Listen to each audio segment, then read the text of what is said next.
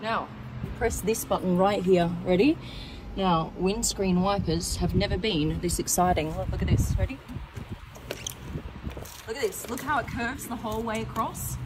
Now, you might be thinking, okay, it's a windscreen wiper. This took a year to design. This is the Aston Martin Valkyrie, a $3 million hypercar that I'm gonna drive today.